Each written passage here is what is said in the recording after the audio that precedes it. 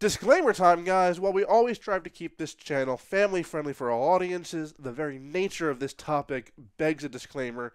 Please be warned, not everything in here is going to be family friendly. Literally, we just got news earlier today, or was it yesterday, that Vic had lawyered up. He's ready to fight. And this wasn't what started in the beginning, because this person is also a voice actor in the industry. Look! Victor Joseph Mignogna is a voiceover actor, on screen actor, producer, and for those of you who don't know, a violent sexual predator of women. Well, remember that Vic Megamind guy? Well, guess what? There's more footage resurfaced. And now for something completely different.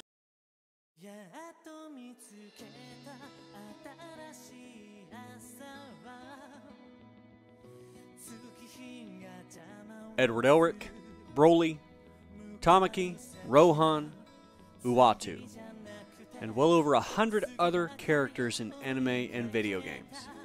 Vic Mignogna began his voice acting career in 1972, and since then, he has voiced characters that range from iconic to forgettable. But through it all, he has worked hard to maintain the appearance of a devout Christian who loves his fans. God loves these people as much as he loves hard you. people to religious people like He you. loves all of these people as much as he loves you. But for years, people have been calling into question the true nature of Vic Mignogna.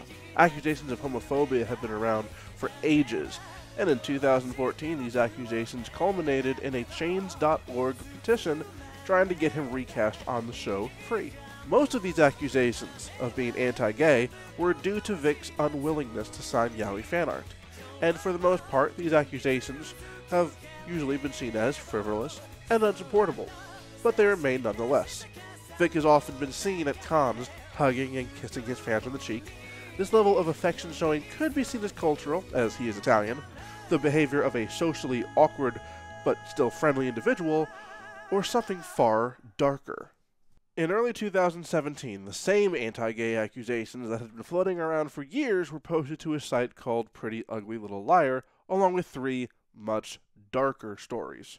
The first link takes us to a video of Vic acting out a scene from Ouran High School Host Club, in which Vic's character acts incredibly flirtatious to the character who is here played by a young female fan.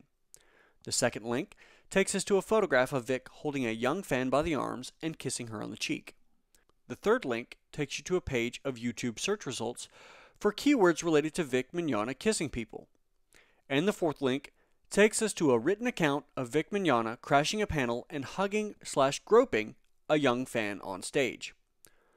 Comments under this post mostly refer to Vic as being creepy, gross, and inappropriate. Once again, these accusations gain some attention, but only for a short time. Then, Dragon Ball Super Broly came out.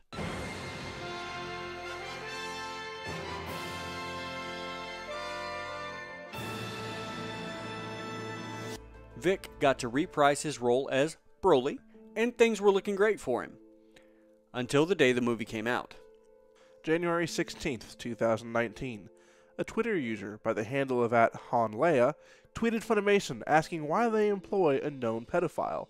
The user also tweeted screenshots of a post made to the aforementioned site Pretty Ugly Little Liar, talking about how Vic had allegedly groomed her and a friend over the internet for months, sending them merchandise and chatting with them about life, but when she ran into Vic in an elevator at a con, and as soon as the elevator doors had closed on them, this user alleges that he brought his hand up her skirt and began fondling her. She thought it had to have been a mistake, but as time went on, she came to realize that she had been sexually assaulted by someone she looked up to. That was over 10 years ago when the user was only 16 years old. This time, the accusations didn't fade away with time. The next day, a YouTuber named Marzgurl got onto Twitter and created the KickVic hashtag, which quickly took off in becoming the rallying cry for everyone who wanted to get rid of Vic Mignogna. On January 21, 2019, Vic Mignogna took to the internet to apologize and defend himself. He addressed the homophobic accusations first, as well as another accusation that he had been anti Semitic at a convention. Vic's letter then went on to apologize to anyone ever made uncomfortable by his over affectionate actions the hugging, the kisses on the cheek or forehead. Vic said that from now on, for the purposes of never making a fan uncomfortable again, he would not make such physical contact with fans ever again, even if they requested it. Finally, Vic addressed the accusations of sexual assault, saying, quote, Any allegation of sexual harassment, sexual assault, or, most disturbingly, pedophilia are completely and utterly false. My heart weeps for anyone who endures a violation of this kind, so to be accused of harming others in this way, I have no words. Since then, the anime community has been flooded with and divided by stories of Vic behaving inappropriately to female fans and actively pursuing romantic and sexual encounters with other voice actresses, even while he was engaged to his longtime partner, Michelle Specht. The most notable of the voice actresses who have come out and revealed her encounters with Vic is Monica Rial, the voice actress for Bulma Briefs on Dragon Ball Super, as well as hundreds more characters. In recent weeks, Monica has been extremely vocal against Vic, tweeting out on February 6th of this year, quote, dropping in to say this, stop harassing my friends and colleagues. You want the truth? It happened to me. I had hoped it wouldn't come to this, but here we are. I don't owe you anything, but if it'll stop it from happening to someone else, then so be it. I will tell you everything when I'm ready to do so. Please understand that this is difficult for me, my friends, and my loved ones. I thought it was a one time occurrence with someone who had always been creepy with me. I chose to forgive him, even though he didn't ask for forgiveness. It wasn't until several of my dear friends came forward with similar stories recently that I realized that this happens regularly. IO9 recently posted an exclusive article written by a woman named Beth Elderkin detailing unpleasant, and in several cases despicable, interactions that Vic's co workers had to deal with thanks to Mr. Mignogna. There are several stories from anonymous former fans about how Vic disgusted them, and detailed stories from the five women at the heart of Funimation's investigation. According to the article, Vic has denied some of these women's stories, but has also confirmed that he remembers some of them, but that those instances were consensual. This article has been referred to as the most comprehensive take on the Vic Mignogna scandal. However, it only takes into account the stories told by Vic's accusers and vaguely paraphrases Vic's rebuttals to some of the accusations without exploring the other sides of the story. Vic was fired from Rooster Teeth where he voiced Qrow Branwen on RWBY. And on February 11th, Funimation revealed on Twitter that following their own internal investigation, it was revealed Vic Mignogna would no longer have work at Funimation. Vic Mignogna's career as a voice actor was over. Vic Mignogna tweeted on February 10th, quote, Please remember, there are always two sides to every story. And that much is true in the case of Vic Mignogna. Vic has legions of loyal fans who oppose the treatment Vic endured from bloggers, tweeters, and even his coworkers. And they have been fighting battle after battle to defend Vic's honor. Innocent until proven guilty is the basis for any legitimate justice system. But in the court of public opinion, no such restriction exists. Vic Mignogna's fans have relied on the fact that every story about Vic sexually harassing or assaulting people came from people with no evidence. Many stories over the years weren't spoken of until several years had gone by. And, with no evidence to go off, it is easy for Vic's supporters to write them all off as unsubstantiated, especially when some of the stories and photographs have been faked. Okay, this is the photo link from Pretty Ugly Little Liar back in 2017. It was one of several links trying to expose Vic as a sexual assaulter. However, the person in this picture has since come out to explain that this picture is completely taken out of context. Her mother was the one taking the picture, and she even asked Vic for a hug and a kiss that she is seen receiving here. And when one piece of photographic evidence is exposed as fraudulent, it calls into question every other story.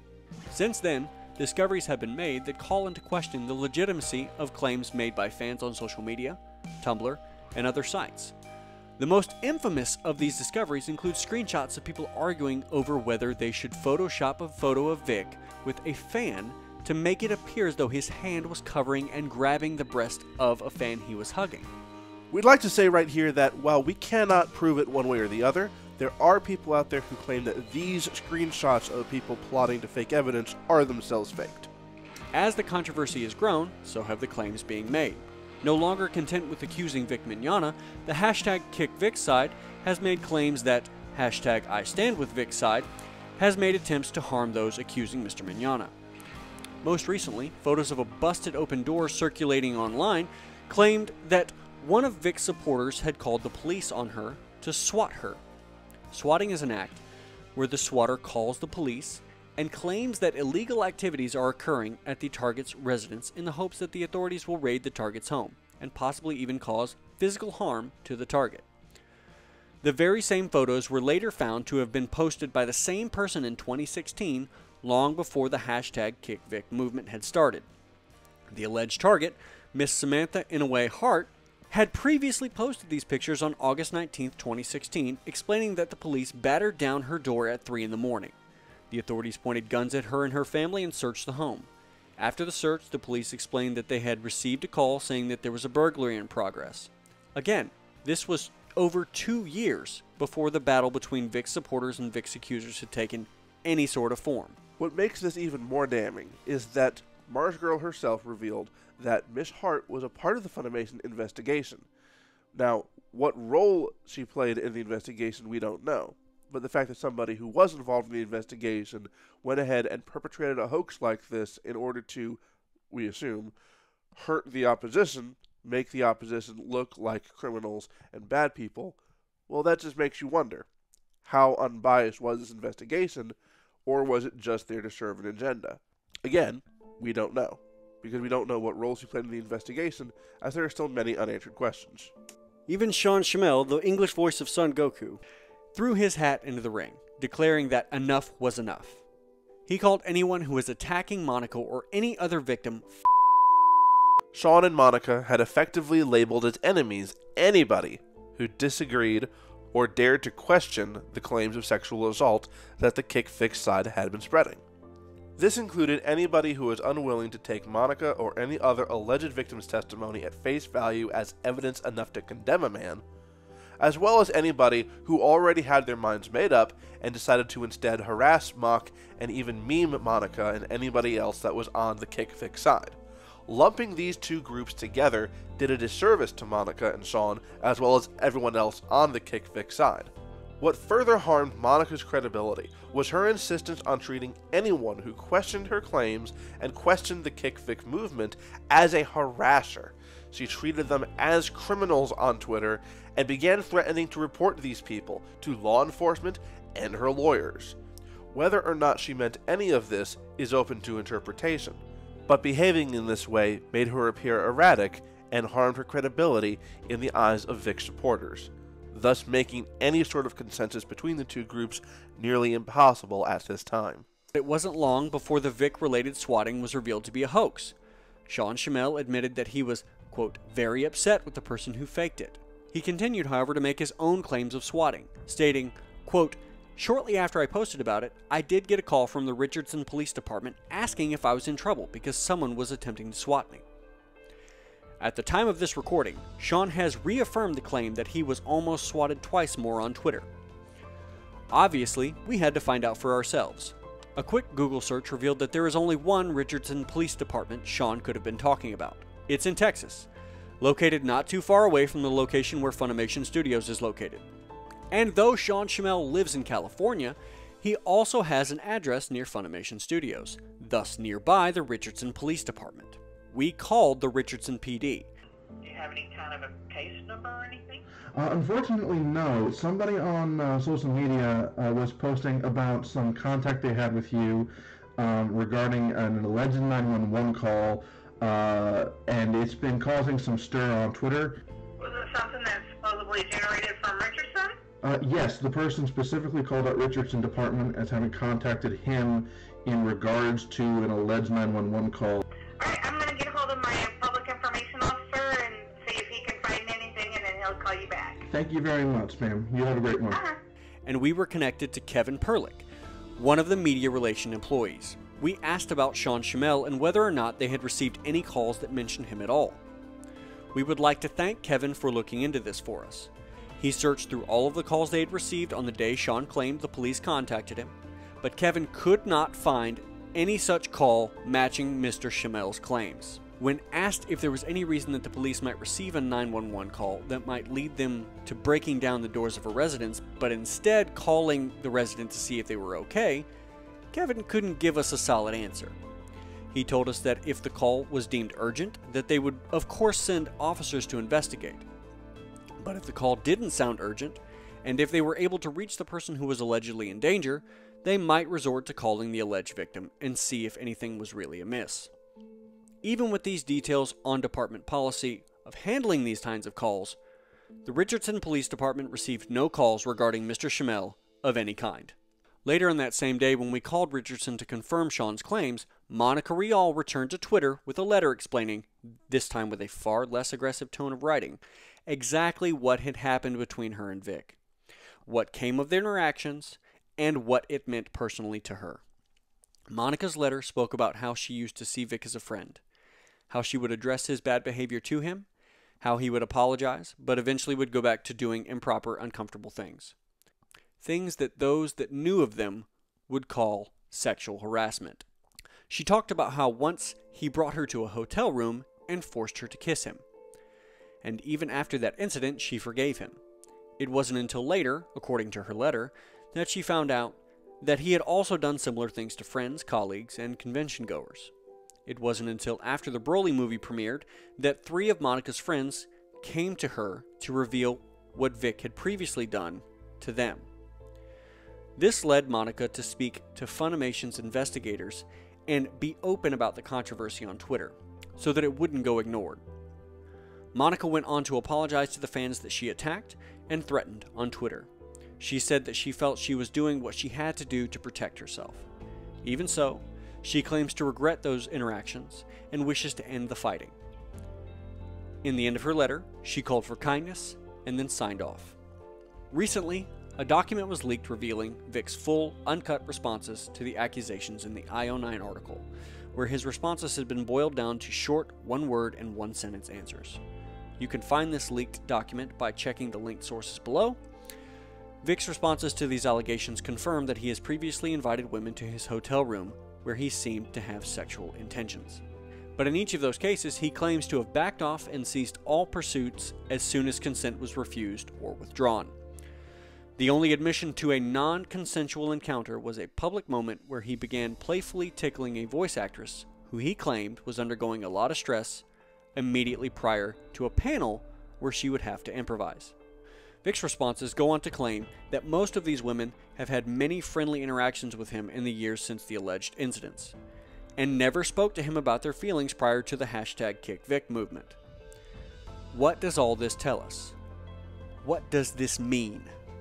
Vic Mignogna, whether you like him or not, has admitted to pursuing women while he was engaged to someone else. This admission is our starting point, because it is the only thing not being called into question by any party. And regardless of what your baseline for what's okay with sex is, religious and non religious people alike will often agree that cheating or attempting to cheat on someone is not an honorable thing. And Vic is a professing Christian. Perhaps this is what Vic was referring to when he said that he was taking his time to, quote, recommit to God and to seek the help of a counselor.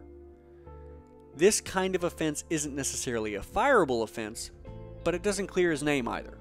Monica, Sean, and Funimation as a whole have had no problem throwing Vic under the bus. This could very well be because the Funimation investigation found he had been a nuisance or a harasser to the women who worked there. While we don't know what their investigation found, we can say with some certainty that it didn't find him guilty of any pedophilia or rape crimes, because if they had found evidence of such crimes, Funimation would have been required to go to the police with their evidence. And Vic would be standing trial in a court of law, not in the court of public opinion. It is going to be very hard, if not impossible, for justice to be served in the Vic Mignogna scandal. It seems that our culture has decided that accusers should be believed and the accused should have their lives and careers destroyed. Some will even go so far as to talk about manufacturing evidence, but it's okay because they really believe it. In response to this guilty until proven innocent mindset, a subculture has developed that lashes out at anyone who dares tarnish a man's name without evidence, even before hearing all there is to hear. It is reasonable to say that neither one of these ideologies are good for our culture and our society. For you to be able to bring allegations against a man and ruin his career with no evidence, to ruin his life with no evidence, only the words of a few people, or even a lot of people, to be able to do that with no evidence is dangerous. However, it is equally wrong to simply write off and dismiss any allegations brought against somebody simply because you like that person, or simply because you are making the assumption that they are all lies. We need to operate on an evidence based way of thinking. We need to make sure that our opinions are derived from what we know to be true. And if there's a gap in the evidence, if we do not have all of the information, we as a people should not be rushing to judgment one way or the other. We need to seek out the truth. And anybody who tells you not to seek out the truth, anyone who tells you not to question what is being told to you, they are not helping the situation. A whole generation seems ready to believe or reject what they hear without doing any personal research. Only their previous beliefs will affect whether they're on the side of believe or reject. And that's no way for a community or a culture to survive. You should not be on Vic's side. You should not be on Monica Rial's side. You shouldn't care what Vic's fan club, the Risen Bull Rangers, have to say. You shouldn't be on the side of anonymous accusers. You should be on the side of truth. You should call Vic out for cheating on his fiancee. You should call Sean Schemmel out for lying about almost being swatted. You should call fans on both sides out who threatened each other with doxing. And you should hope that truth is found and brought to light. And that is no matter what that truth is. Maybe you want Vic to be innocent, and it turns out he's not. That's okay. As long as you can accept that you were wrong. And the same goes to the side that really believes that people like Monica are telling the truth. You can believe that she's being honest. But what if one day she reveals it was all a lie? Will you stubbornly act like you weren't wrong? We're not claiming to know the truth because we don't know what the truth is. The only thing that we do know is that regardless of what you believe about this situation, there are ways that you should and should not act. Let's be respectful of each other and work to find the truth. We are anime fans, and believe it or not, we're better than this.